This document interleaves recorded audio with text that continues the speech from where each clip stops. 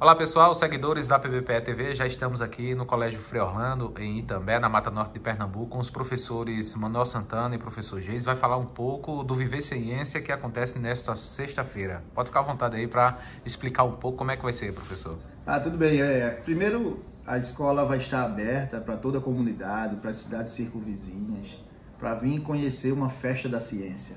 O Viver Ciência já tem um histórico nessa cidade, nessa região, são 16 edições, é, é, muitas delas premiados. São trabalhos que envolvem ciência, tecnologia, sociedade, meio ambiente, discutem acessibilidade. Já teve proposição de lei a partir da discussão dos alunos.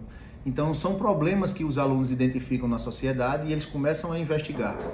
A gente, eu, essa feira, leva o nome do prêmio professor Janduí José de Oliveira, que foi quem estimulou esse tipo de atividade aqui na escola e tem trabalhos que versam dos mais diversos sentidos, das mais diversas áreas e que contribui né, com, a, com a sociedade melhor e também com o desenvolvimento cognitivo dos alunos.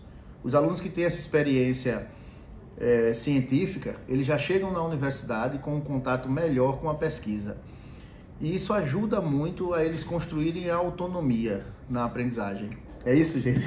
Com certeza. Então, viver ciência, como o Manu bem falou, eu achei uma grande festa do conhecimento. A gente tem que entender isso. E não só para os alunos, viu? Para vocês, professores que estão nos ouvindo, venham ver como é o trabalho dos professores, cada professor das diversas áreas são os colaboradores, eles são os articuladores junto com os alunos. Então, muitas vezes, os alunos procuram esse professor em determinada área porque tem um problema que quer solucionar e nasce da pesquisa. Então, o nosso foco é a pesquisa científica.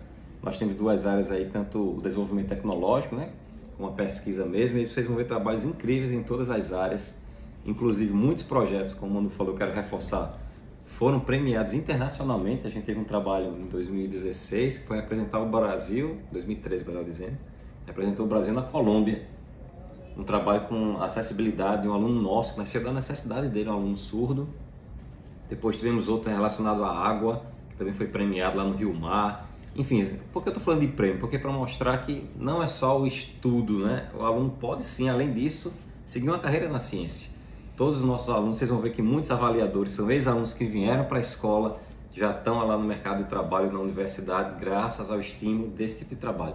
Então a gente quer fazer o convite, né, Manu? Vai começar agora sexta-feira, dia 18. Você, a gente mandou convite para todas as escolas, ah, mas não recebi venha como curioso mesmo, a comunidade abraça vocês. Então a escola está aberta para todo mundo, para ver trabalho de qualidade. Não é só ciência, né, Manuel? Vai ter também apresentações. Culturais, trabalhos culturais e é, tem um trabalho que eu estou muito curioso. Assim, não dá para a gente acompanhar cada trabalho de desenvolvimento de perto. Mas tem mais de 20, né? Tem também. mais de 20, quase 30 trabalhos que robótica, falam sobre a história de Itambé. Imagina uma problemática do óleo Toda esquina que a gente vê tem alguém vendendo batata frita, coxinha. O que é para onde vai esse óleo? E a contaminação desse óleo? Então tem trabalho muito interessante sobre isso.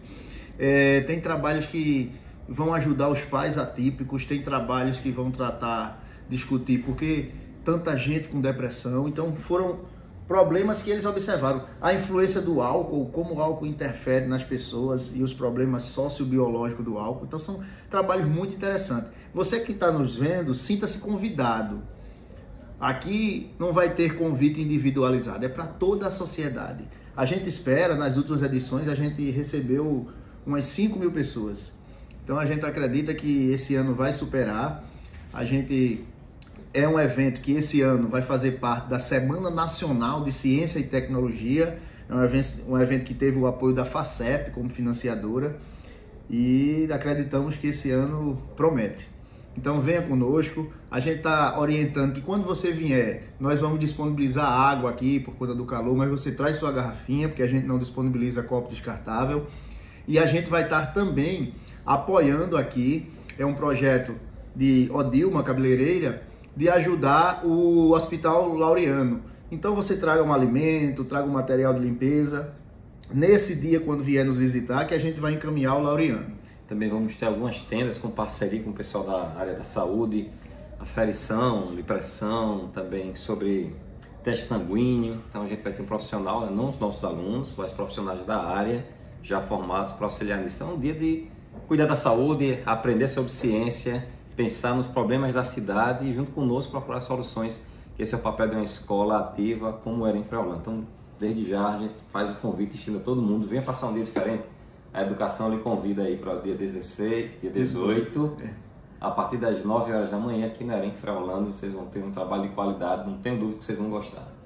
Muito bem, muito, muito, obrigado aí, sucesso, professor Manuel Santana e Geise Ferreira e a todos que estão acompanhando.